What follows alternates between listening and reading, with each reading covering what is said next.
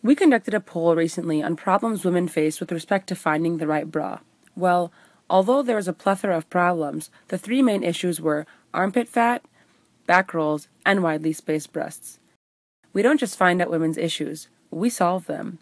Putting words into actions, we have created durable, comfortable brasiers that not only counter these issues, but also make women like you and I feel immensely sexy and confident.